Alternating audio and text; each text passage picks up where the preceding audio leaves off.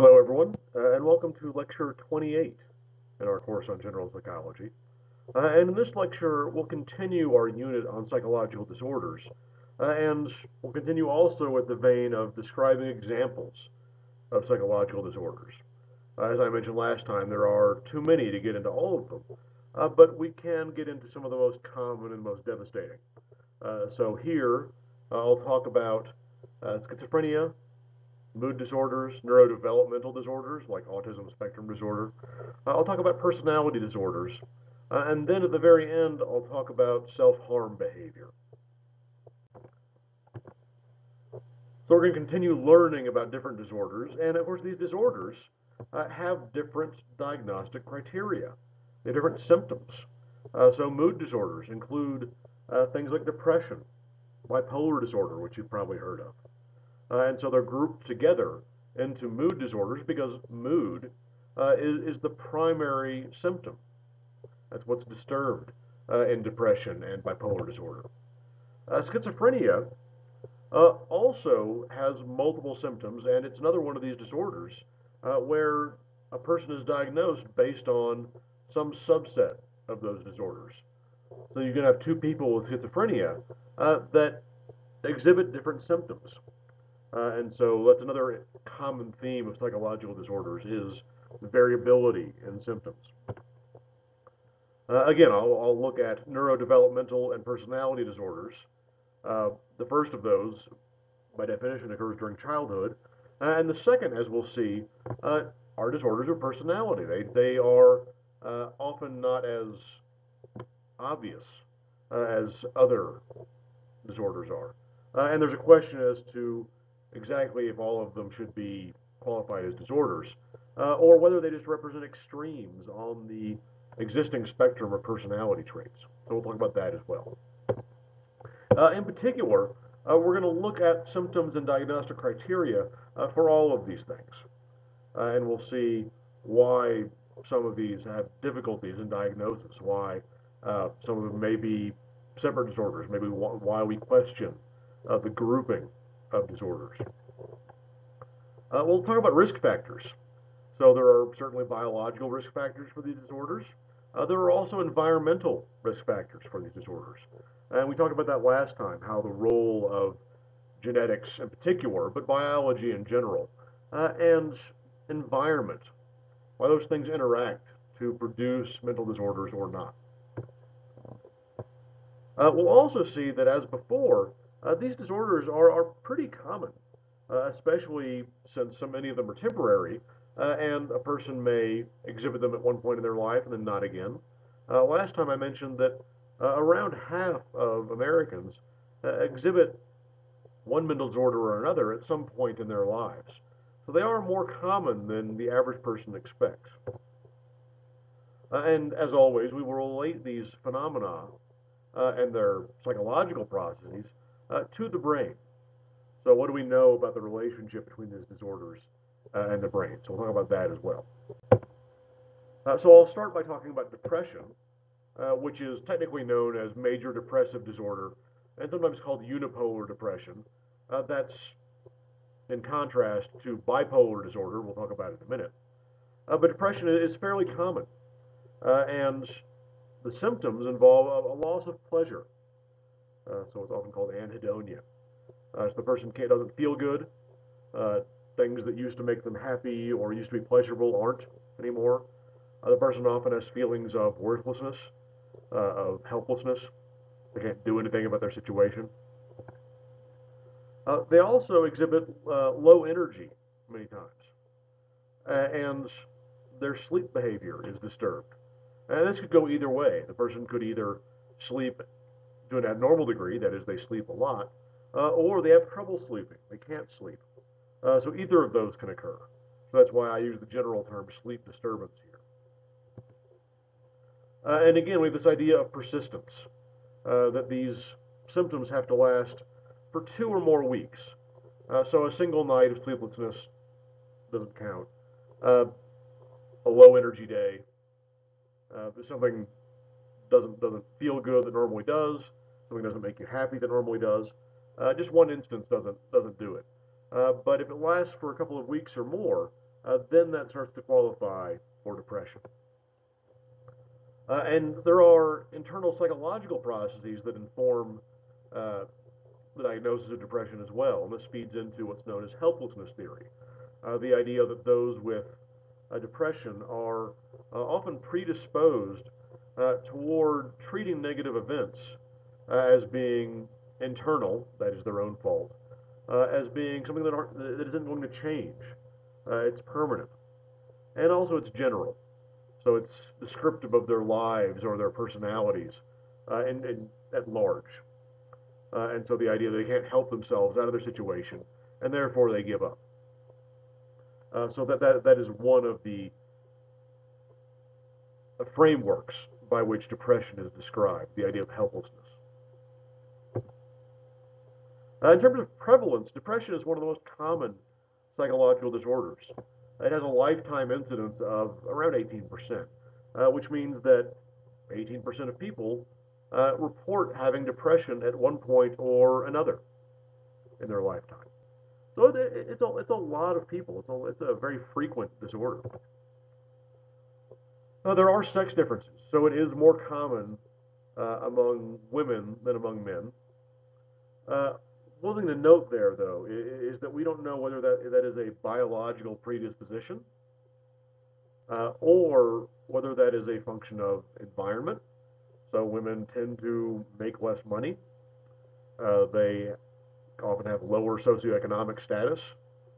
Uh, they also have obviously different hormones uh, in terms of the relative ratios uh, than men do. Uh, so, and of course, men are less likely to uh, seek out psychological services, seek out help. Uh, and so when we talk about differences in diagnosis rates for depression between men and women, uh, we have to keep that in mind. That is diagnosis rates. There are a number of things uh, other than the actual incidence of depression that can influence those diagnosis rates. Uh, and in terms of heritability, going back to those biological components of mental disorders, uh, Severe depression uh, is highly heritable. That, so it seems to have a large genetic component. Uh, more moderate or mild forms of depression seem to be less dependent on genetics. They are more environmental. Uh, and so it's hard to, to say how heritable depression is overall uh, because it depends on how severe the depression is that we're talking about. Uh, looking at the brain, uh, so we know for example, that part of prefrontal cortex seems to be important when it comes to depression. Uh, so this in the lower right is a figure from another book. Uh, and this is an area that's active uh, when the person is asked to recall a sad experience. Uh, and so this, this part of the prefrontal cortex that's right next to the corpus callosum uh, is active uh, during sad thoughts. now what's interesting uh, is that there are neurotransmitters involved as well. So serotonin is the most notable. Most antidepressants, that is, drugs that treat depression, uh, depend on serotonin levels. So if you increase serotonin levels, uh, it tends to alleviate the symptoms of depression. Now, that doesn't work for everyone. There is no one-size-fits-all solution. Uh, and also, norepinephrine seems to have a role as well. So if you elevate levels of norepinephrine, uh, that can also alleviate the symptoms of depression. And, and, we're not sure why that is. So some drugs will work just on serotonin, some drugs will work uh, on both serotonin and norepinephrine, and some will work more on norepinephrine. So it varies from person to person. and again, we're still figuring out why that is, why these two different neurotransmitters can both have an effect on depression symptoms. Are genetic influences, to be sure, especially when it comes to more severe forms of depression. Uh, so there, there is a protein uh, that is responsible for uh, removing serotonin from the synaptic cleft. It pulls serotonin back into the presynaptic neuron. Uh, and of course, that protein has to be encoded by genes. That's what that's where proteins come from, uh, they are produced by genes. Uh, and when it comes to that protein, people will have different forms of that gene. Uh, and some forms of that gene are better at pulling serotonin back in than others. Uh, and, and, so depending on which form of that gene you have, or if you have a mixture of the two forms, everyone has two copies of a given gene, uh, you are more likely to be at risk for depression uh, if you have what is called the short allele. Uh, allele is just a word meaning the version of the gene that you have. So if you have two versions, two short versions of the allele, uh, you are at a higher risk for depression. Um, if you have the longer versions, you are at less risk.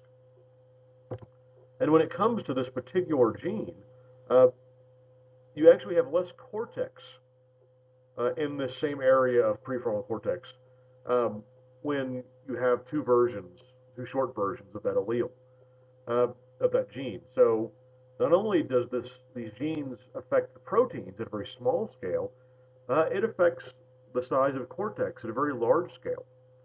Uh, and so we see this same area in the brain come up again. Same area that becomes active when people think of something sad uh, is also thinner with regard to gray matter uh, when they have the two short versions of the gene and therefore at higher risk for depression. Uh, and it's thought that prefrontal cortex, in this area in particular, uh, are important for regulating emotion. So it's not the case that this area produces emotions necessarily, uh, but that the prefrontal cortex is important for reining in emotional responses, for inhibiting emotions. And so if you have less prefrontal cortex for whatever reason, uh, you often have less control over your emotional state. And so the idea here is that people with these short versions of the gene uh, may have less prefrontal cortex and therefore may have less control over their emotional state and be more at risk for depression. Uh, of course, there are other mood disorders as well. It's not limited to depression. Uh, there is, for example, seasonal affective disorder. Uh, and this uh, has symptoms of depression, uh, but they are linked to the changing of the seasons. In particular, they seem to be affected by the amount of light available, so day-night cycles. As the days get shorter, people tend to, this disorder tend to come at higher risk for those depressive symptoms. and people at higher latitudes uh, are also at higher risk than those that are closer to the equator. So that's obviously another environmental impact on the expression of mental disorders. Uh, there's also bipolar disorder, uh, which used to be known as manic depression, though that term is not really in use anymore. But you can see the two components of that old term, mania and depression, and these are often described as, as high mood and low mood. Uh, so the low mood is the depression component. Uh, and, and, so there you have symptoms of classical unipolar depression. Uh, the high mood uh, is mania. Uh, and so that is where the person often has high energy. Uh, they often have reckless behaviors like gambling or hypersexuality. they often have delusions of grandeur. They think they have superpowers in one way or another. they can often exhibit uh, periods of creativity. We'll talk about that in a minute. Uh, but the idea is that the person goes back and forth uh, between mania and depression. There will be periods where they exhibit neither, uh, but mania and depression are often tied together uh, and, and when it comes to bipolar disorder. Uh, and the frequency with which this happens can vary greatly from person to person. You can have rapid cycling bipolar disorder uh, which, as the name suggests, means you go through these cycles much more quickly. Uh, bipolar disorder seems to be highly heritable, uh, so it tends to run in families. It seems to have a genetic component. Uh, and of course, uh, anecdotally, it has been suggested that uh, those with bipolar disorder have higher creative abilities. and so individuals like Isaac Newton and Vincent van Gogh uh, and Winston Churchill have all been attributed with bipolar disorder. Uh, now, Winston Churchill's writings certainly indicate uh, possible depression. Um, and it is, again, up, up for debate whether all these individuals or any of them had bipolar disorder. Uh, it's especially difficult to verify the further back in history you go. So there you're depending on personal writings, you're depending on uh, accounts of acquaintances and friends and family. Uh, so it can be very hard uh, to assess whether someone had the, the symptoms of bipolar disorder. So we have to be, we have to be careful uh, trying to assign mental disorders to certain individuals uh, when they haven't been diagnosed by a professional. Uh, and, and, so that's something we, we have to be wary of, uh, especially when it comes to things like saying that people that have a disorder have some other attribute as well, like this. Uh, switching gears a bit, well, I'll now talk about schizophrenia. Uh, and schizophrenia is a, a, very common mental disorder. Uh, it occurs in about 1% of the population. Uh, that may not sound all that common, but if you think about the severity of schizophrenia uh, and how impairing its symptoms can be, uh, it, it is an important mental disorder to consider. Uh, and, and, there are a couple different groups of symptoms when it comes to schizophrenia. Uh, one of them are called positive symptoms. Uh, now, this is not to say that the symptoms are helpful or beneficial or pleasant. That is not what positive means in this context. What positive symptoms are, are those characteristics that other people don't have. they've been added in schizophrenia. So that's the sense in which they're positive. They've been added to the individual. Uh, and so those without schizophrenia do not have these symptoms. And these are things like hallucinations, uh, which are the perception uh, of stimuli that aren't actually there. And most commonly, this is in the form of auditory hallucinations. Uh, people with schizophrenia uh, often report hearing voices, uh, voices that tell them what to do or criticize them. Uh, and so that is the most common form of hallucination. There are also delusions, uh, which is the belief in something when it's not true, uh, especially the belief in spite of contradictory evidence. So we've probably all, at one point or another, believed something that turned out not to be true later. Uh, but the, the criterion here is whether the belief is plausible uh, given the information you have. Uh, and the most common form of this in schizophrenia uh, is the paranoid delusion, the belief that someone uh, is out is out to harm you uh, or out to impair your life in some way. So that is the most common form of delusion. And again, it, the, the, the critical criterion here is that it doesn't stand up to scrutiny. so these are often very intricate delusions uh, especially when it comes to uh, supernatural beings or governments uh, being out to harm or interfere with the life of the sufferer. Uh, you also have things like disorganized speech. And again, this is something that the average individual doesn't have, but someone with schizophrenia does. Uh, and so, what does good disorganized speech mean? Uh, it means that the person can go off on tangents very easily. Uh, they'll exhibit what's called loose association thinking. So they'll start saying a sentence, uh, and then they'll focus on one topic, and then suddenly they'll switch topics uh, based on words in the sentence or based on a word that rhymes with something they've said. Uh, and so they'll kind of switch from topic to topic uh, very rapidly, and so their, their speech can be hard to follow and hard to understand. So that's what's meant by disorganized speech. Uh, you also have negative symptoms, uh, which are things that the average person has, uh, but that are lost uh, in schizophrenia. And so these are deficits or the loss of some aspect of psychological function.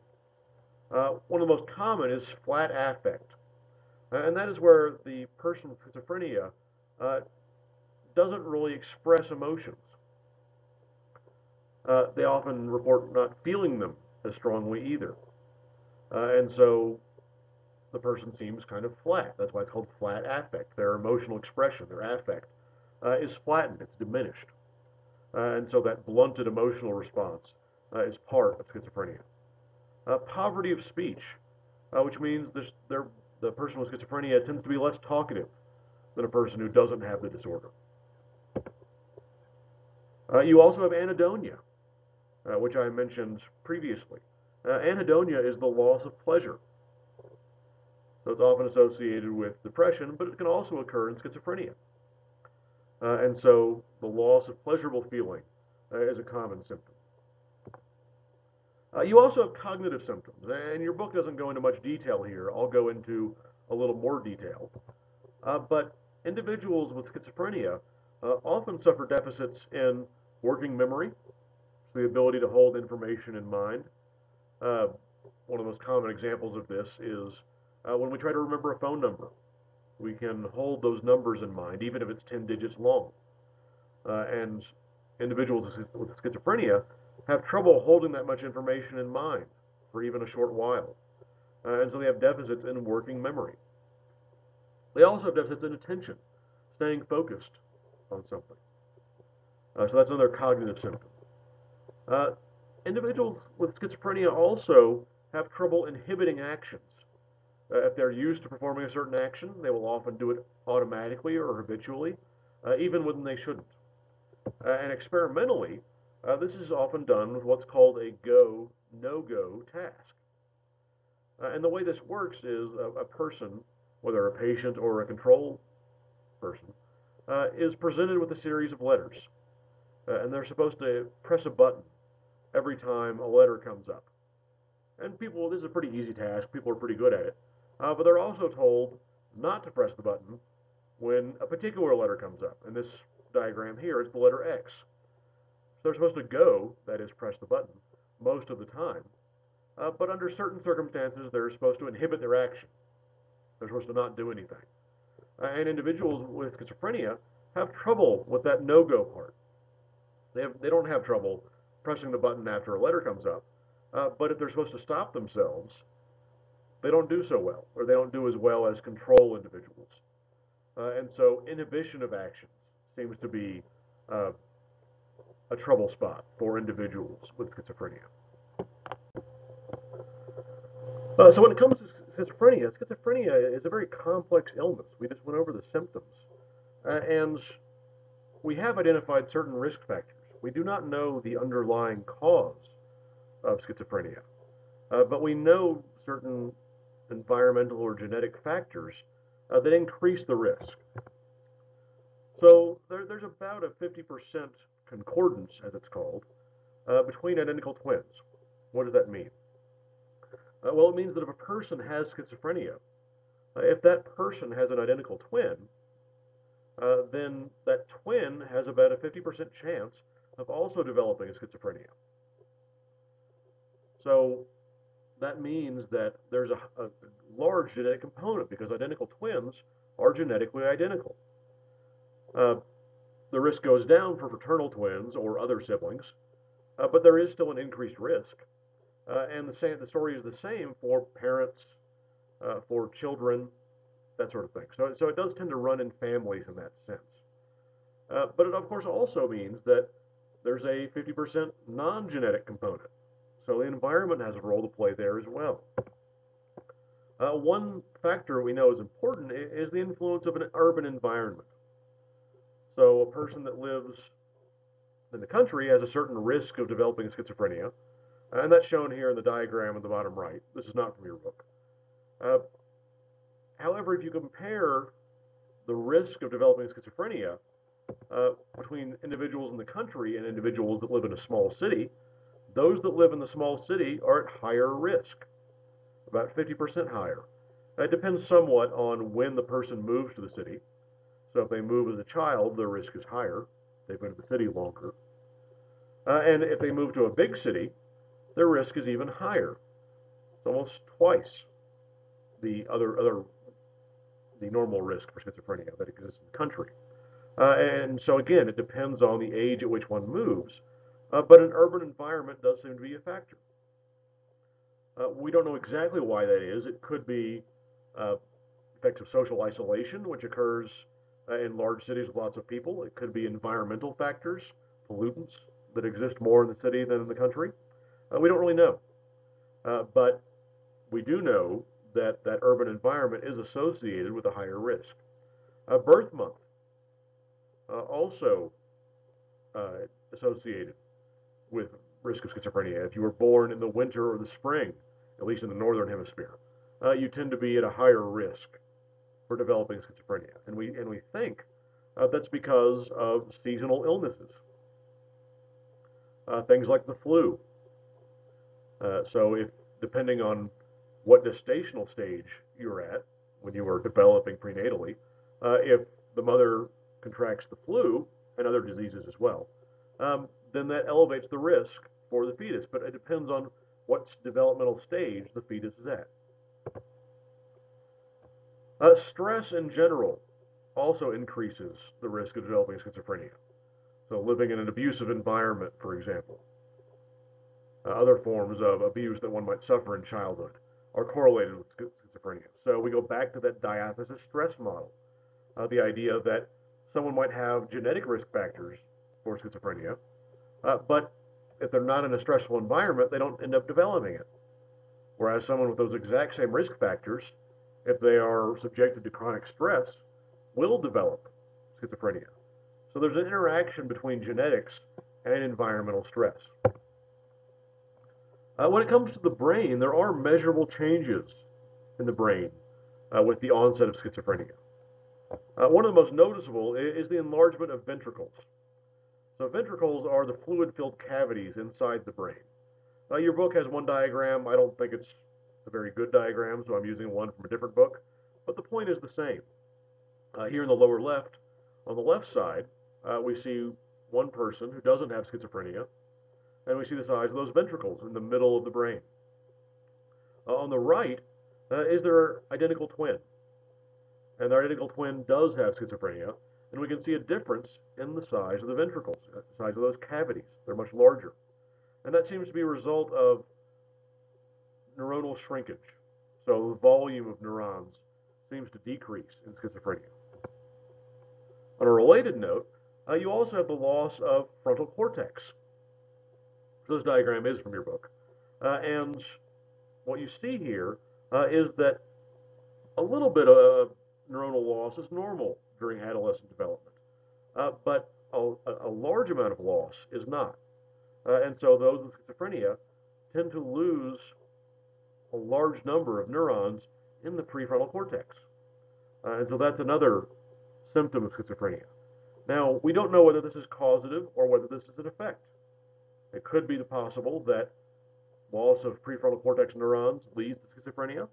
It could also be that development of schizophrenia has other symptoms, and one of them is the loss of prefrontal cortex. We don't know. Uh, one common hypothesis of schizophrenia uh, is the involvement of dopamine, the idea that schizophrenia is associated with high levels of dopamine. Uh, schizophrenia traditionally has been treated with drugs that reduce dopamine levels, uh, and those tend to decrease uh, the severity of symptoms, in particular positive symptoms. So people, if they if they go on anti-dopaminergic medication, uh, stop experiencing auditory hallucinations. Their delusions get less severe.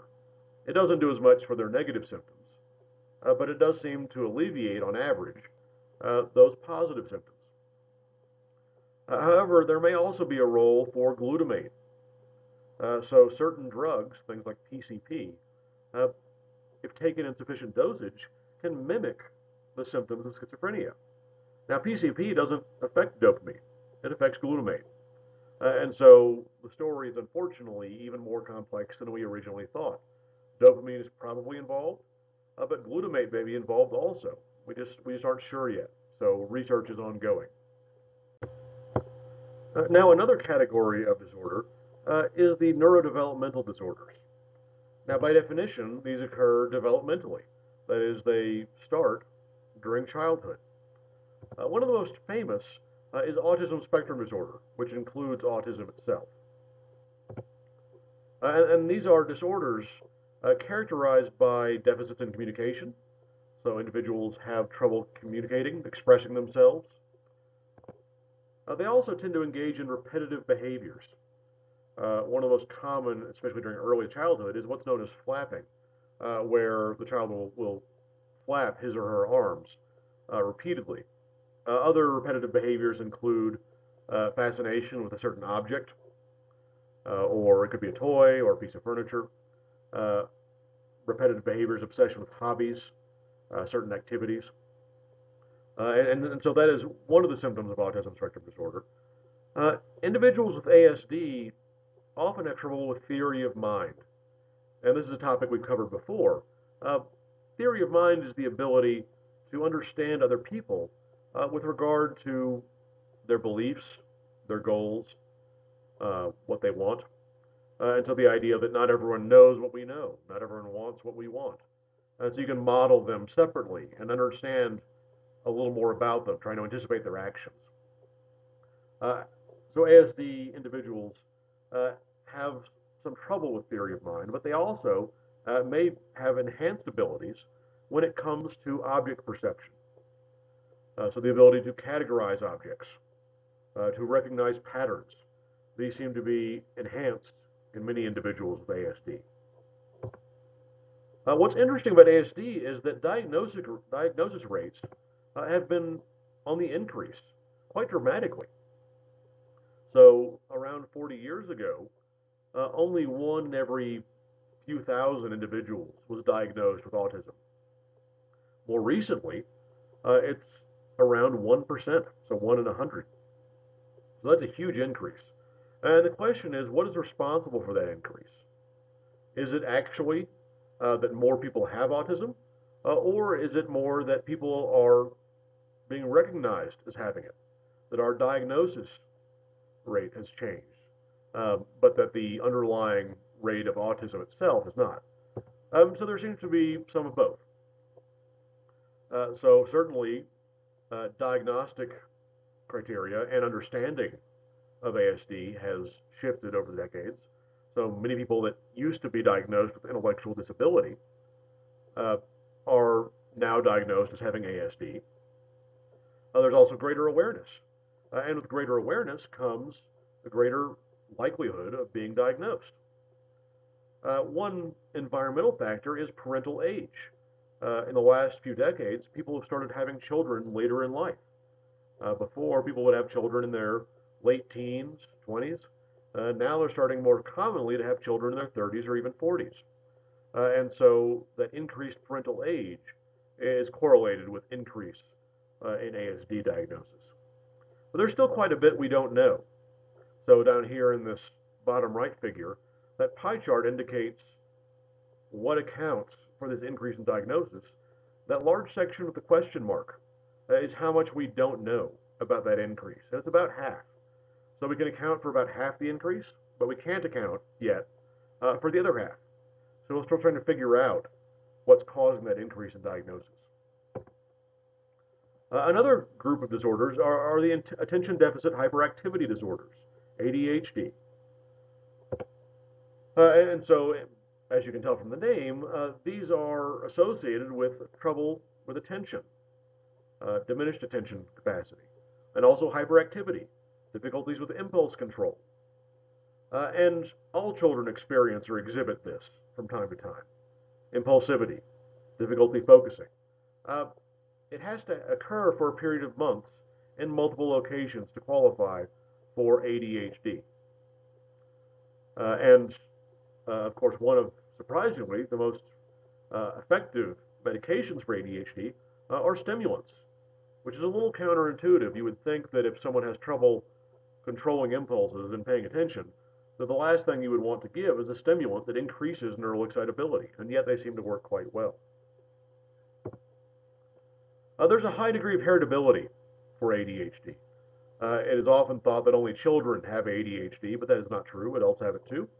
Uh, and there's a high degree of heritability, a big genetic component, we think, uh, for inheriting ADHD. Uh, and finally, we come to conduct disorder, and this is a tough one. Uh, so it's characterized by childhood behaviors like aggressive behavior, bullying, deceitfulness, lying, uh, stealing, not obeying social rules, running away. Uh, and, and so there's a collection of symptoms. In fact, there are up to 15 symptoms uh, that a person can exhibit, but they only have to exhibit three of them to qualify for conduct disorder. And that's what makes this uh, sort of a more difficult mental disorder, uh, is that you can have five children, all diagnosed with conduct disorder, who exhibit no overlapping symptoms whatsoever. Because there are so many possible symptoms, but you only need to exhibit three of them to qualify. Uh, and so this is one of those kinds of disorders uh, that diagnosing can be very tough uh, because you have so many possible symptoms. uh, and because they are so different in many cases. Okay, now I'll move on to personality disorders. So, of course, the question is how do we define a personality disorder? What is a personality disorder? Uh, so, it describes a pattern of feeling, thinking, and behaving, which is part of our definition of personality in the first place. So, it's, it's a pattern uh, that deviates from cultural expectations. So, again, we come to the role of culture, uh, that certain behaviors, uh, certain ways of responding to a situation, uh, may be unusual in one culture, but not in another. And so, in considering personality disorders, we have to consider what's normal, so to speak, within a given culture. Uh, but these are personality characteristics or traits uh, that deviate from the norm and end up impairing function in some way. They cause behaviors uh, that are harmful to the individual or harmful to others, or make it difficult to operate in society. Uh, and so that's a, that's a bit vague, and that's an important thing to note. Uh, many people question the usefulness uh, of categories for personality disorder. Uh, many people think that people just exist on a spectrum, uh, and rather than put people on the ends of that spectrum in a separate category, maybe we should just try to understand the extreme versions of those personality traits. Now, that's not a universal opinion. Uh, and, and, I'll talk about only two personality disorders today. There are many, uh, but I'll cover two as examples uh, of differences in personality and how they impair function. Uh, one of them is called antisocial personality disorder. So from the name, it sounds like someone socially withdrawn. Uh, what actually is occurring here uh, is aggressive tendencies, hostile tendencies a lack of remorse, a lack of regard uh, for other individuals and their welfare. So people that, that don't care about the consequences of their behavior on others. Uh, and uh, this, this personality disorder uh, has a much higher incidence uh, among those that have been previously diagnosed with conduct disorder as children. Uh, so we can see a parallel there between behaviors in childhood and in adulthood. Uh, both disorders are associated with aggression. Uh, both behaviors are often associated with deceitfulness. Uh, so people with antisocial personality disorder uh, will be can be fairly adept at lying and deceiving others, and they don't have any trouble with it. It does not bother them. Uh, it's highly prevalent uh, among the prison population. So around half of male prisoners, it is thought, uh, have diagnosable criteria for antisocial personality disorder. This picture in the top right is from uh, a famous serial killer. Uh, and so the term psychopath or sociopath uh, is often associated with antisocial personality disorder. These are people that can, on the surface, be very charming, uh, but will have aggressive, harmful tendencies, uh, will engage in uh, unethical actions like lying uh, in order to get what they want. Uh, and so it's highly prevalent among those that have committed crimes, especially violent crimes. Uh, looking at the brain, uh, so there's a famous study that looked at the brains of individuals with antisocial personality disorder, and when viewing negative words like hate, murder, uh, the individuals with antisocial personality disorder uh, exhibited less amygdala activity than control individuals. So they seem to be less emotionally responsive to those emotionally laden concepts. So we see a decrease in amygdala activity uh, in antisocial personality disorder. So the question of whether these are real personality disorders or whether they just exist on a spectrum, um, whatever the case, we can see differences in the brain uh, for people that exhibit these behaviors and have these tendencies. Uh, another personality disorder uh, is called borderline personality disorder. And I've mentioned this one before. So this is uh, characterized by uh, a, a, difficulty maintaining social relationships, uh, especially when it comes to trust. people with BPD have trouble trusting other individuals. They are afraid they will be abandoned. Uh, they also are very emotionally reactive. Uh, they tend to view people uh, as either entirely good or entirely bad and out to get them. Uh, and so BPD is characterized by emotional instability, uh, also impulsive behaviors, reckless behaviors. Uh, and these can include things like substance use, but also sexual behavior. Uh, and so these people have trouble uh, with relationships, with maintaining relationships, especially long-term ones. They have difficulty with family members. Uh, they have difficulty with romantic relationships uh, because of difficulty trusting other individuals. Uh, and so, obviously, this, this results in an impairment uh, in social function. It's difficult to function socially with this disorder. what's also interesting, and I mentioned this before, you actually see increased amygdala activity in these individuals. So if they're viewing emotional expressions, even if those expressions have no emotional content, they could be neutral expressions, uh, and yet you will see increased amygdala activity uh, in individuals that have BPD. So again, those are just two personality disorders. There are many, uh, but those are two examples, uh, and they also show that we know something about the relationship between these disorders and the brain. Uh, finally, we come to self-harm behaviors. Now, the most obvious self-harm behavior is suicide. Uh, that is the intentional ending of one's own life. Uh, and this is surprisingly common. Uh, so about 15% of the U.S. population has considered suicide at one point or another.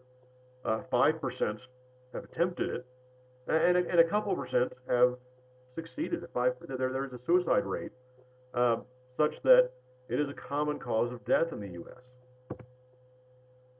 Uh, it is often comorbid with mental disorders. So uh, I previously mentioned the concept of comorbidity. This is when disorders or symptoms occur together. Uh, so the suicide rate among those with mental disorders is very high, uh, especially the more mental disorders one has. Uh, so it is, it is common to have more than one. Uh, and the more one has, uh, the more common suicide attempts are. There is a developmental pattern for suicide. So it is very uncommon, it's almost unheard of, uh, for children before the age of 10 uh, to consider suicide, much less to attempt it. Uh, but it becomes much more common during adolescence. And then it kind of levels off. Uh, so adolescence is a period associated with, with large develop, developmental changes uh, and stress, especially social stress. Uh, and, and, so suicidal thinking or suicidal behaviors uh, become increasingly common during adolescence. Uh, now there are differences when it comes to sex and ethnicity. So it is more common for women to attempt suicide uh, but it is more common for men uh, to actually commit suicide, to successfully end their own lives. Uh, and so we see a difference in attempts versus uh, successful suicide behavior. Uh, and, and so that is partially a difference in, in preferred method. but there are also ethnic differences. Uh, so we have differences between the sexes. We also have differences in ethnicity. So white individuals uh, account for the vast majority uh, of suicides. Uh, and so we don't know exactly why that is, uh, but there are sex and ethnic, ethnic differences to be found in suicide rates. And now that's different from non-suicidal self-injury. So it is surprisingly common, 15 to 20% of adults 36% uh, of teens, uh, for individuals to hurt themselves in one way or another, but not with the intention of killing themselves. That's why it's non-suicidal. And this is also different from suicide attempts. Um, so obviously suicide attempts uh, involve self-harm, but they were done with the intention of suicide. These are these non-suicidal self-injuries uh, are not done with the intention of ending one's own life but they are surprisingly common. Uh, and most, most commonly, we think, uh, these occur as a response to negative events in one's life. So if someone finds the emotional response or the physiological response to an event uh, intolerable, they will often try to mitigate that emotional experience through self-harm, that they prefer the experience of self-harm to the emotional experience they would otherwise otherwise have. Uh, and so it's thought to be a response to these negative, possibly traumatic events. Uh, it's also thought they may be a means of communicating distress. Uh, so again, not suicide attempts, but non-suicidal self-injuries uh, can possibly be associated with that communication attempt. So it's a behavior uh, that's intended to signal that the person needs help. We also have to consider culture here. So there are cultures uh, in which there are non-suicidal self-injuries, uh, but they are part of the cultural tradition, and so they don't count uh, as these these non-suicidal self-injuries in the classical sense. Uh, so things like ritual scarring uh, are common in certain cultures, uh, and yet they do not count as this sort of behavior because they are part of the culture. So this is another context uh, in which we have to consider what's quote unquote normal uh, for someone in that culture. Okay, that will do it for our coverage of psychological disorders. Uh, next time, we'll start looking at the treatment of psychological disorders. So this can be, uh, be a very difficult issue. Uh, success rates are not 100% when it comes to treatment. So it can be a hard process. Uh, we'll talk about different forms of treatment. One of those is psychotherapy, uh, in which a person communicates with a therapist. There are also medication-based approaches and even surgically based approaches to psychological disorders. And for all of these things, we'll come back to how effective they are. So do they succeed in treating and curing uh, psychological disorders? Do they succeed uh, in mitigating or getting rid of the symptoms? Uh, so we'll talk about that next time, and I will see you then.